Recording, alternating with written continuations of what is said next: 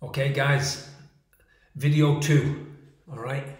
Um, how do we approach the scriptures? I don't know how to instruct you in how to approach the scriptures. You've got your own preconceived ideas and understandings and beliefs from your culture has given you a level of understanding and um, any previous experience with the church you, you've already got an understanding of the scriptures and Christianity, all right? So I'm going to talk to you as if you don't have that understanding. And I'm not going to try and teach you how you should approach the scriptures. I'm going to try and, if I can, sure, sounds grandiose, but I'm going to give it a go at leading by example by approaching the scriptures. I run a clinic for addiction treatment. And we get people to us coming to us from all over the world. And at any one time, we could have four or five different nations all sitting in the same room and all kind of locked in to listen to me. I'm an evangelist. Okay. So I challenge them and say, right, when we start to talk about spiritual also say, right, let's pray together. Let me just try something. Let's pray together. And then they bow, they close their heads. Some of them do all kinds of aerobics. And um, I'll lead in prayer. And I'll say, Our Father, who art in heaven, hallowed be thy name. And nine times out of ten, 95% of the people sitting in front of me are praying along with me. They all know this prayer. Okay? So I said to them, Stop, guys, what's this prayer called? What do we call this prayer? It's the Lord's Prayer. It isn't the Lord's Prayer. They've not learnt that prayer by approaching the scriptures. They are regurgitating a prayer that they learned in their birdcage at school because if you say something to a bird often enough, it will repeat you. Okay? So they are regurgitating a prayer that they've adopted, and sometimes they look to it for solace, and they've taken the words of Jesus out of their context and changed them to fit their own context when we should be taking our context and hoping it will change to fit the biblical context.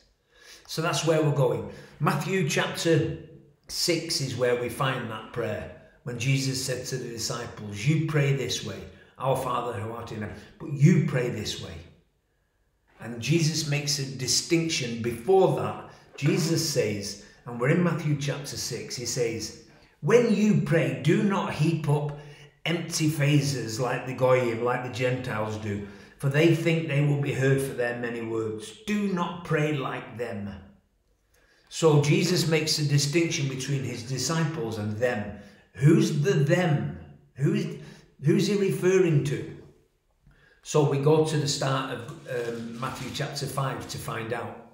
Jesus has been baptized. He's been into the wilderness. In Matthew chapter 4, he's been into the wilderness. He's established authority over Satan. He's come out of the wilderness. He starts calling men from the lower ranks of society he starts turning unregenerate nobodies into born again nobodies. Okay? And they start to follow him. And then we get to Matthew chapter 5, and Jesus is attracting quite a crowd. Okay? They've seen what he's done, they've watched his ministry. They've, every time he speaks, somebody changes. And then at the start of chapter 5, it says, Jesus, seeing the crowds, went up onto the mountain. And when his disciples sat down, his disciples came to them, and he began to teach them, the disciples. There's the crowds, there's the disciples. Jesus walks up the mount, his disciples follow him, the crowds listen from a distance. That's the world at large. They want to know about Jesus, they want to listen to things about Jesus, but the disciples want to get as close as they can because they want to become like Jesus. Jesus wants them to reflect his image when he leaves. Okay, so chapter 5, and then we go through the Sermon on the Mount, and then we go through. When we get into chapter 6, he starts talking about fasting and praying, uh, fasting and giving and praying. And he makes this distinction. He said, when you fast, don't fast like they do. When you give, don't give like they do. When you pray, don't, like, don't pray like they do. So they can't really call God Father. Jesus says to the disciples, when you pray, you call him Father. Okay, and this is the conception now. This is the embryonic state of what's going to become a world changing body of believers. Okay, if we go into the Gospel of John and chapter 20 from verse 19, we see on the day that Jesus left the tomb, empty, walked away from the grave, the resurrected Jesus comes out of the dead, rises from the dead, and he leaves that tomb empty, okay? And he's left the tomb. And that night, his disciples are recorded in John chapter 20 from verse 19. It says that they were in a room with the door locked in fear of the Jews. So, this body of believers, he's called them away from their jobs and they've turned their backs on their careers to follow Jesus. Now, at the feast of the Jews, they've turned their back on those traditions to huddle together like sheep without a shepherd. And then Jesus appears in their midst in John chapter 20. He spooks them, but he says, Peace be with you, receive the Holy Spirit. They then receive the Holy Spirit. There's the church. Jesus, the risen Jesus, is the pastor. The risen Jesus is behind the pulpit. The risen Jesus is the Word of God. And his disciples have encountered the risen Jesus. And they have everything about his ministry now makes sense because they are spirit sealed.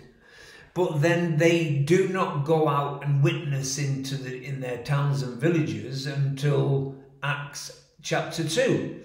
49 days later, when the Spirit is put outpoured from heaven, from heaven, and they are then empowered. So they've encountered the risen Jesus.